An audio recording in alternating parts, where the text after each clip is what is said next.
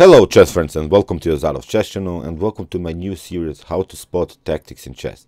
So I'm really excited to do this series because uh, with this basics in chess series that I've also created on my YouTube chess channel, I think it's uh, one of the most important things uh, because uh, you see I have also created this chess tactics and chess puzzle series in which I show you all of the possible tactical motifs that can happen in a chess game and we'll do many many more uh, tactical motifs. We'll do also in um, sort of um, um mating pattern recognitions.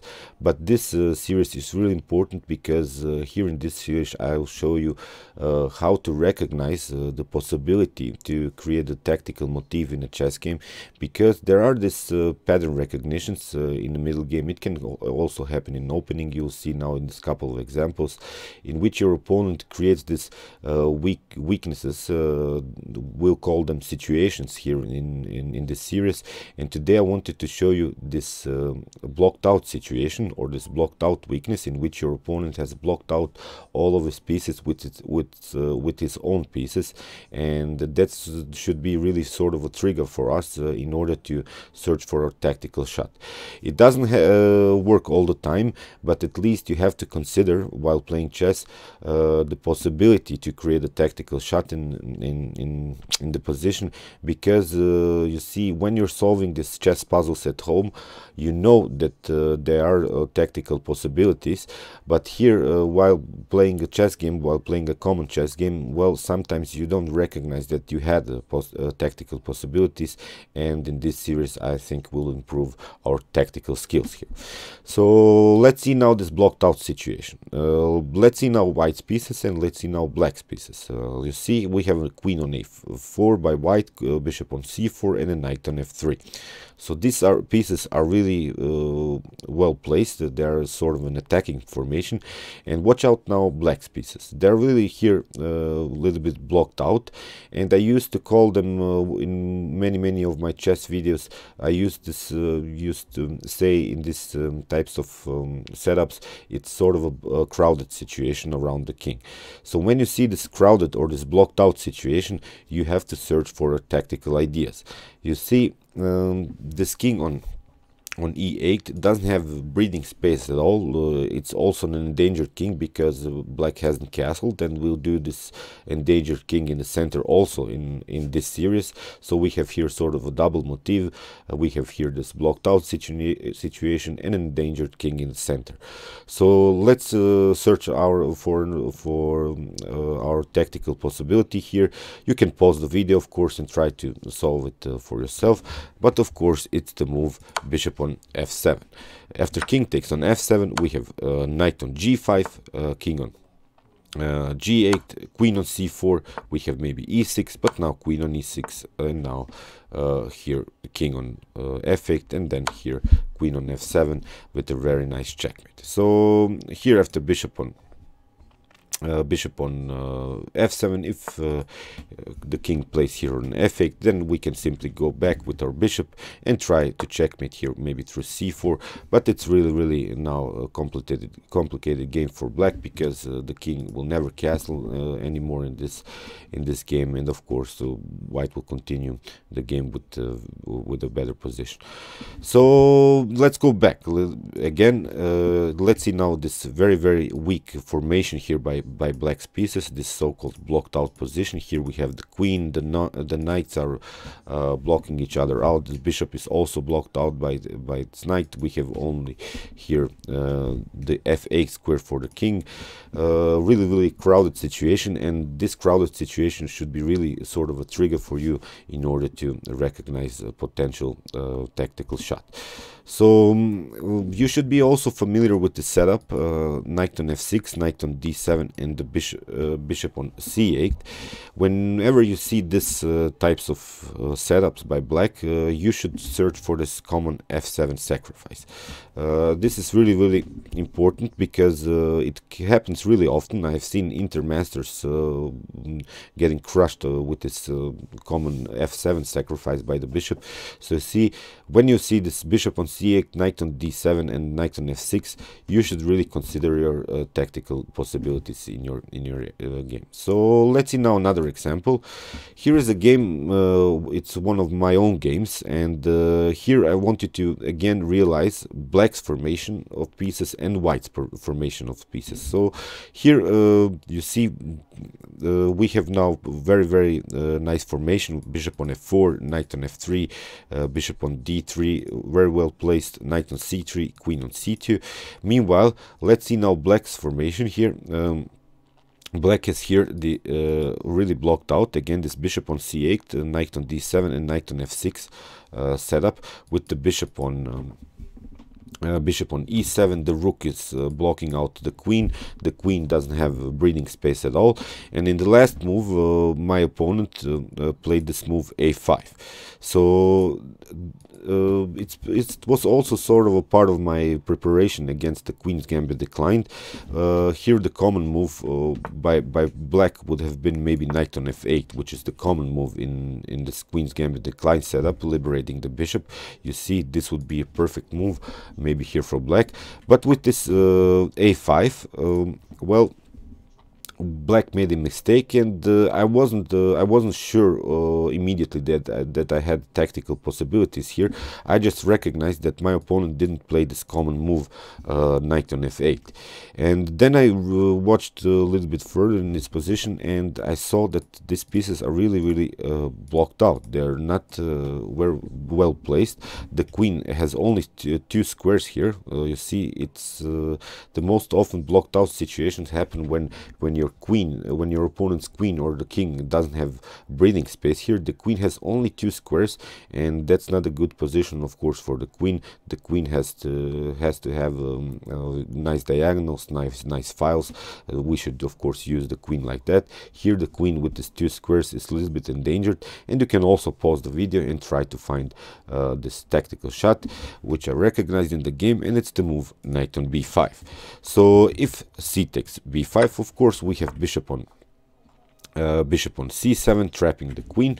So uh, if uh, rook on f8 uh, is played then we have bishop on uh, c7 the queen you see because of this blocked out situation the queen doesn't have breathing space at all.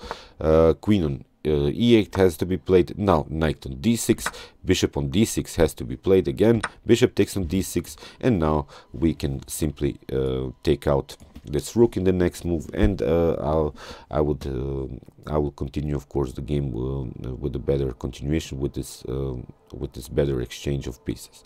So let's go back again after this a5 which was part probably sort of a preparation maybe to play b b5 b4 but it was really a mistake by my opponent. And uh, i hope you realize this really really weak um, setup here by black. The pieces are again i'm using this term real too crowded here. We have again this crowded situation and uh, of course this tactical uh, shot is i think uh, a nice one.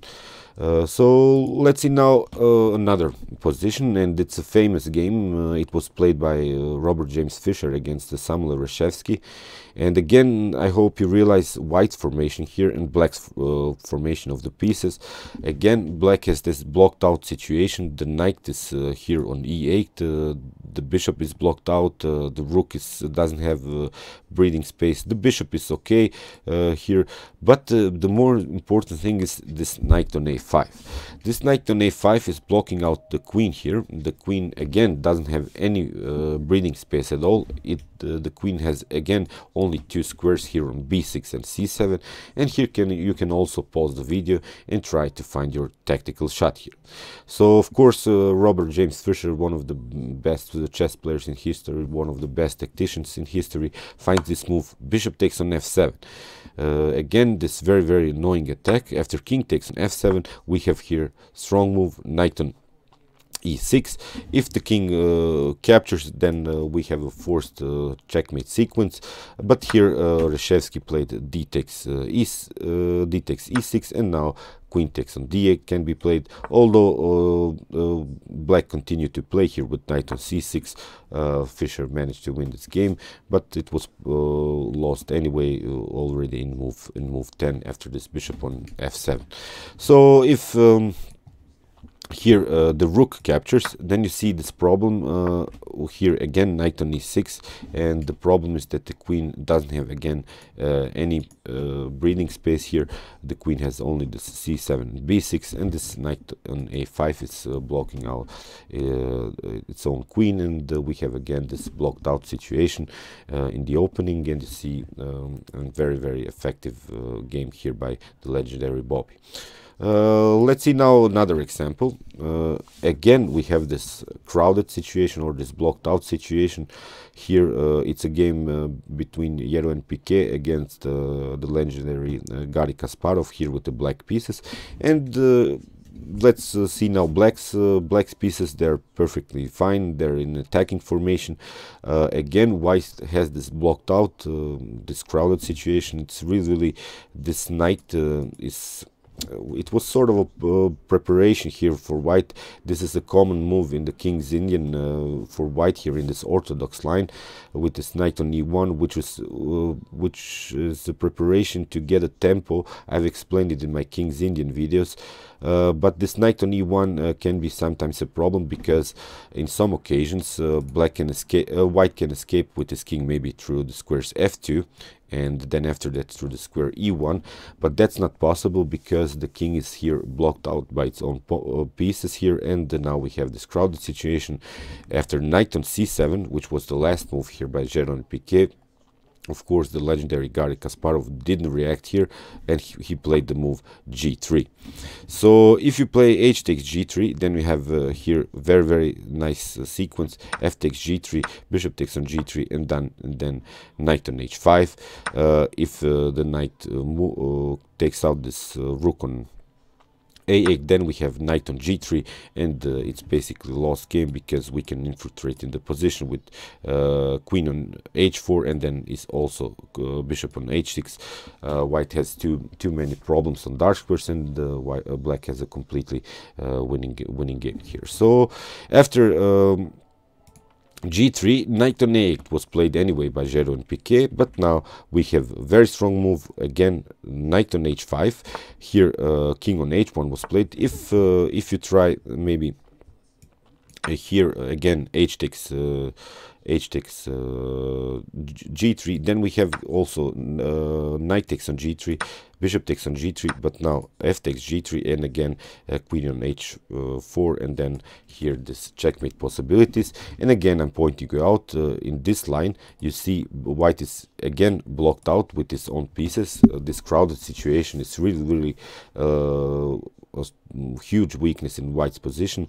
The white's king doesn't have breathing space at all. So you see we can all, also here sacrifice some pieces some knights some rooks uh, and uh, of course uh, the legendary Garry recognizes uh, tactical shot. So let's see now the continuation after king, king on h1 we have um, a, uh, g takes f2 rook takes on f2 but now again knight on g3 uh, after uh, king on g2 we have uh, queen takes on a8 now bishop on c4 and you see now white's problems. Uh, white is trying to creating some breathing space for the king probably also moving the rook here on the c file and then escape with the king but that's not possible because uh, kasparov played here uh, a6 now queen on d3 and now queen on uh, a7 creating the spinning situation on the king.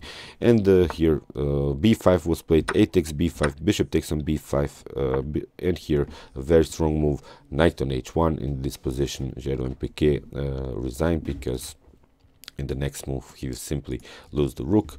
Uh, we can also take out the bishop here and uh, black will continue uh, the game with one piece up and a completely winning endgame so I hope you realize these ideas uh, in of this blocked out or, or, this crowded situation. You see, um, it's really um, common weakness in, in your opponent's position, and this is sort of a pattern recognition which you have to use in your in your own chess games because, as I said, sometimes we don't uh, recognize tactical pos possibilities in a chess game. It happens also to me. It happens also, you see, uh, to top grandmasters. Uh, but uh, with this um, with this pattern with this blocked out situation I think uh, you can recognize it sometimes in your own games. Okay i hope you enjoyed this video. We will continue this very important series uh, with this pattern recognition with this um, uh, with this um, uh, how to use your tactics in in in in middle games. And you can meanwhile you can watch my other uh, mm, chess tactics and chess puzzles uh, videos if you want to be familiar with all of the possible tactical motifs that can happen in a chess game. And you can also watch my basics in chess series with some opening principles middle game strategies and the end game strategies. Thanks you for watching guys. Chess is the best of course